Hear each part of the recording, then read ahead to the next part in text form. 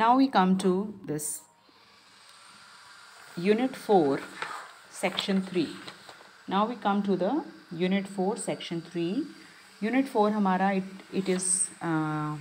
related to the nature. So that is why we have all the lessons related to the nature. So here we will write one paragraph also.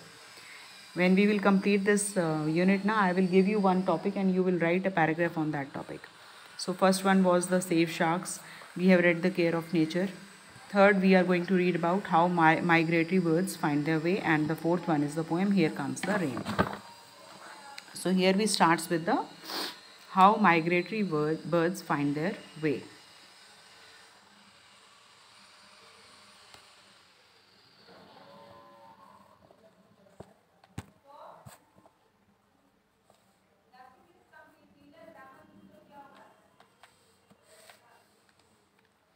So migratory birds, how migratory birds find their way. Now what are migratory birds? Do you know about that? बच्चे migratory birds होते हैं those birds migrate means uh, when we say migration certificate आपने ये word तो सुना होगा now what is migration migration is moving from one place to another and if I say that migration certificate that means that you are moving from one school so you were reading in this school for one year and now you want to change the school so you need the migration certificate okay so for that migration means uh, moving from one place to another so ऐसे ही लोग भी बच्चे migrate करके आ जाते हैं जैसे villages uh, हैं या यूपी के हैं या बिहार के जो विलेजेस के जो लोग हैं they migrate to the metros metros means big cities like Delhi Mumbai Bangalore and this Hyderabad all these are metro cities. So they migrate to big cities metro cities just to seek jobs better living and better jobs. So like this there are birds also. They are known as the migratory birds. So what type of birds they are? They are um, the same birds which we know but some are known as the migratory birds because they migrate Migratory birds. Now come on, let's start. Migratory birds are those birds which leave their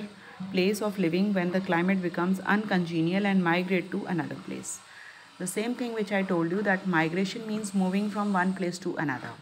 So a person moves from one place to another uh, in the uh, he or he migrates from that place to find something better for his for his, his or for him and his family. So similarly, the uh, birds are also like the same. They are also living beings and if they find that the weather or the climate of that uh, place or the region is uncongenial for them means वहाँ पे अगर बहुत ज़्यादा ठंड पड़ रही है या बहुत ज़्यादा snowfall हो रही है इतनी ज़्यादा ठंड है that the birds cannot survive in that region so they just migrate from that region to the some warmer regions likewise if they are uh, living in a staying in a very hot region and they find it very uncongenial and they just can't survive there so similarly they move to the some cool cooler uh, colder regions so that they can survive and they can just find way for their raising up their young ones and uh, feeding and breeding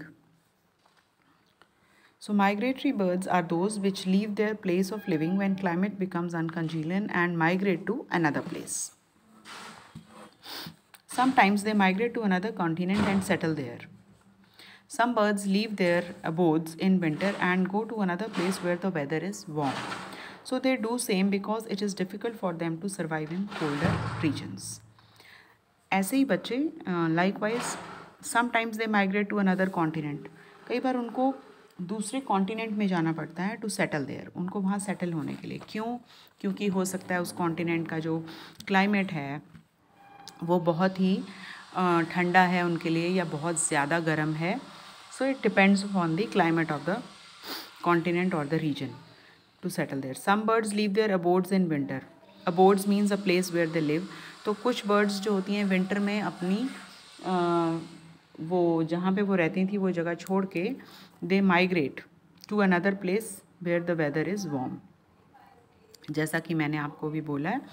कि अगर उनके लिए कुछ ज़्यादा अनकंजीनियल हो जाता है climate उस जगह का जहाँ वो रह रही हैं बर्ड्स तो वो they move to from one continent to another continent और वो अपना पूरा रीजन ही चेंज कर लेती हैं कोल्डर रीजन से वो वार्मर रीजन में चली जाती हैं इसके बहुत सारे रीजन रीजन्स होते हैं बच्चे वो अपने लिए बेस्ट इकोलॉजिकल कंडीशंस ढूंढती हैं ताकि वो जहाँ पे जाके सेटल हो सकें, वहाँ फ़ीड कर सकें एंड ब्रीड कर सकें और अपने यंग वंस को रेज कर सकें। Clear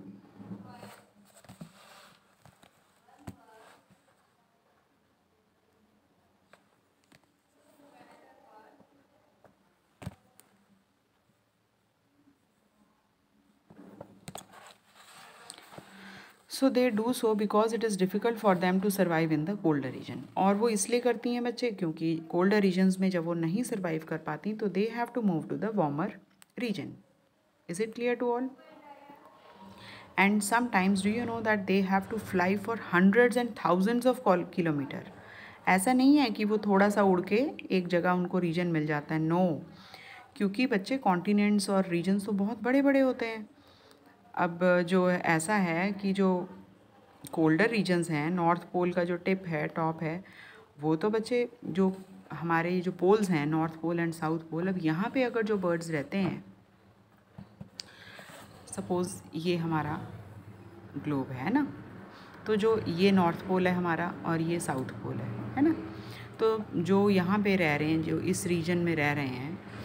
ऊपर या नीचे तो यहाँ पे तो बच्चे बहुत स्नोफॉल होती है तो स्नो कवर्ड ही रहता है पूरा टाइम ये एरिया राइट तो इन बर्ड्स को उड़ के पूरा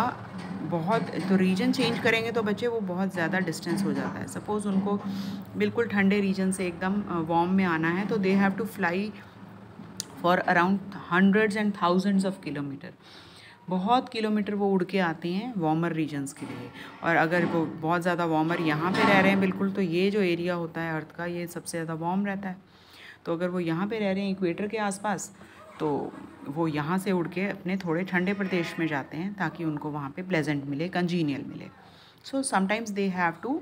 migrate up to hundreds और थाउजेंड्स ऑफ़ किलोमीटर उड़ना पड़ता है उनको।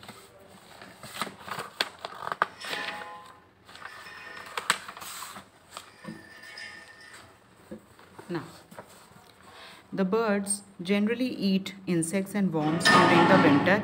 and uh, their food becomes scarce. Birds generally क्या खाती हैं बच्चे? इंसेक्ट्स और वॉर्म्स ही खाती हैं ना? ड्यूरिंग विंटर ठीक है? और क्या होता है कि विंटर्स में जो उनका जो खाना होता है ना वो बहुत कम हो जाता है। स्केयर्स मीन्स लेस इन क्वाल लेस कम हो जाता है। Hence they leave the colder places इसलिए वो कोल्डर प्लेसेस लीव करती हैं and migrate to the warm places तो one reason can be for the search of the food they leave one place they leave that colder regions and they come to the warmer places on the other hand from various hot places the birds move to cold places of the south तो similarly जहाँ पे उनको congenial लगता है, वो वहाँ से उड़ के दूसरे रीजन में चली जाती है। They return to their original place during the spring और फिर they come back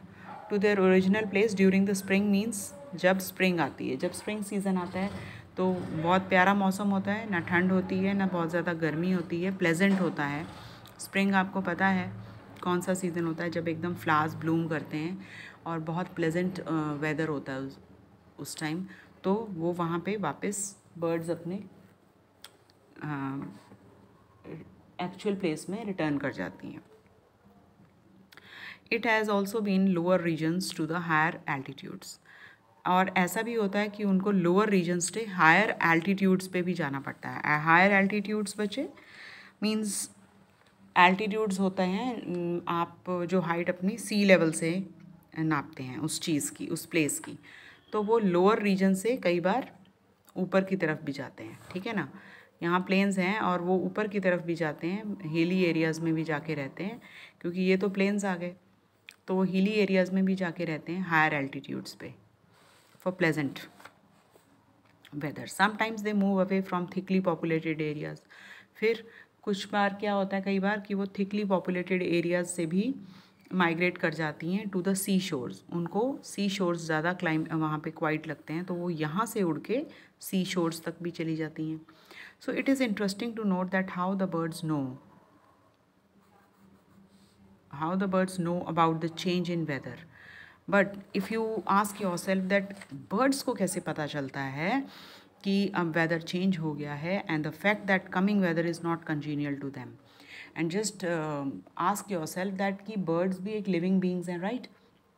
और देखिए, उनके भी दिमाग है, भगवान ने उनको भी दिमाग दिया है, उनको भी फीलिंग दी है तो उनको देखिए कैसे समझ आ जाता है कि अब जो यहाँ का वेदर है, बहुत कोल्ड हो गया है, हमारे लिए कंजीनियल नहीं है तो we have to migrate to some warmer place कि हमें किसी वार्म प्लेस पे जाके सेटल होना पड़ेगा।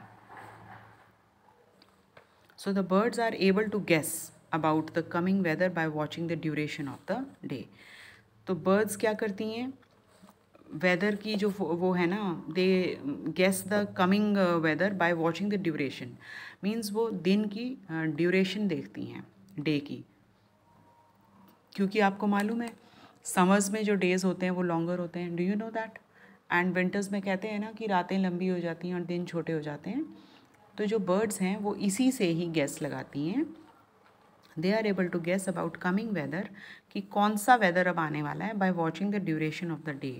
as the day starts getting longer or shorter according to the change because the day uh, gets short in the day, day starts getting shorter in the summer. It is believed that the birds are very sharp in judging some changes. So so, ऐसा माना जाता है it is believe कि जो birds होती हैं बहुत sharp होती हैं इन सब चेंजेस को गेस करने में उनको ऐसे वेदर के जो चेंजेस होते हैं बड़ी जल्दी पता चल जाते हैं some birds have a special gland तो कुछ बर्ड्स के पास तो स्पेशल ग्लैंड होता है बच्चे which helps them in understanding the change in the season जो उनको हेल्प करता है चेंज इन सीज़न को अंडरस्टैंड करने में। उनका एक ग्लैंड है जो उनको बता देता है कि अब वेदर जो है चेंज होने वाला है weather it will be congenial for them और not so they change the region और the place automatically accordingly ना the question is how do the birds find their way अब क्वेश्चन क्या है कि जब वो माइग्रेट करती हैं तो उनको उनका रास्ता कैसे मिलता है how do they find their way while migrating from place and then returning to the original place yes it is very interesting to note that uh, mm, when they move from their when they fly from their original place and move to migrate to some another place and they again come back um, in the congenial when the weather is congenial they again come back to their original place so how do they find their way it is very interesting fact so many experiments have been conducted तो इसलिए क्या किया बहुत सारे जो scientists हैं जो bird watch करते हैं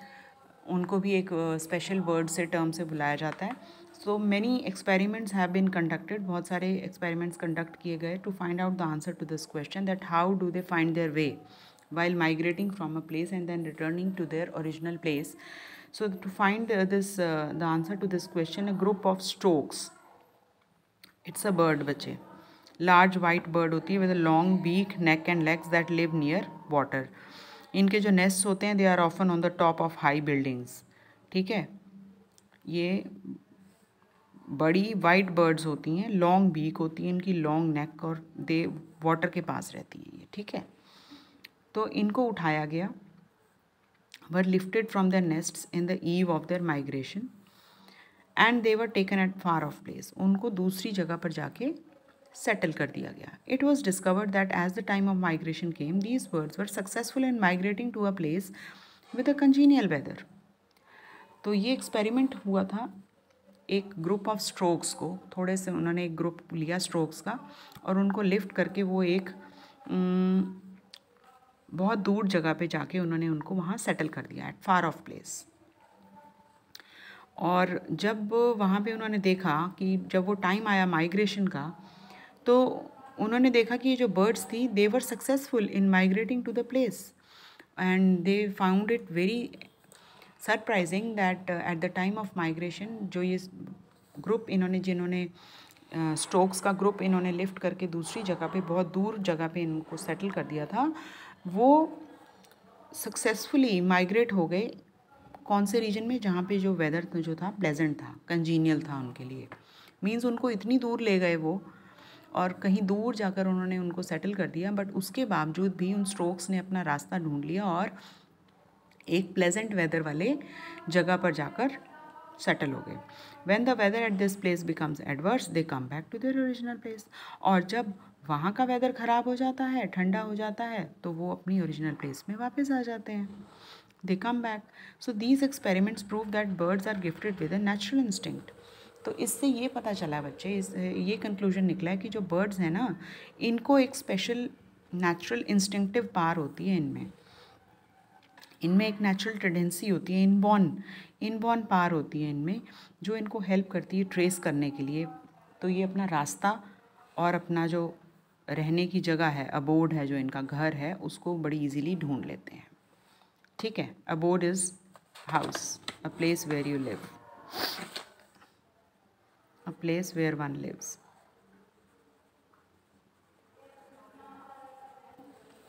So in another experiment, birds were taken out of their nest and flown to a place 650 kilometre away and let off, let off there.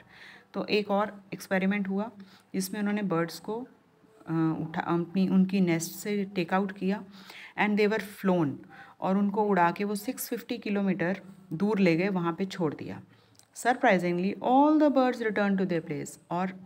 ये बहुत बड़े सरप्राइज़ की बात है and surprisingly they all the birds they've return back to their place and it has not yet been possible to know the secret to find out their way and अभी तक जो है ना साइंटिस्ट को ये रीज़न ये secret नहीं पता चला है. They could not find out the secret that how do they find their way some scientist are of the view that birds are extra sensitive to earth's magnetic field कुछ scientist ऐसा feel करते हैं कि जो birds हैं वो extra sensitive होती हैं अर्थ की, मैग्नेटिक फ़ील्ड को लेके। उनको सेंसिंग पावर जो होती हैं उनकी बहुत तेज़ होती हैं और इस पावर की बेसिस पे सेंसिटिविटी के कारण they are able to determine as to where home they are have come तो इस इस, इतनी ज़्यादा सेंसिटिविटी होने के कारण वो डिटर्मिन कर लेती हैं कि वो कहाँ से आई हैं। So however a definite answer has not yet been found